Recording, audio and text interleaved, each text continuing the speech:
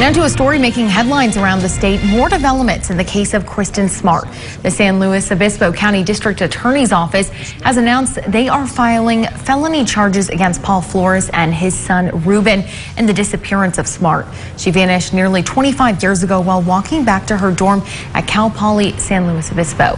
This morning, District Attorney Dan Dow made that announcement. Now, yesterday, police arrested Paul Flores, who had been long described as a prime suspect by authorities. Flores was the last person seen with Smart before she disappeared in 1996. They were both students at that same time. Now, Paul and Ruben are due back in court tomorrow.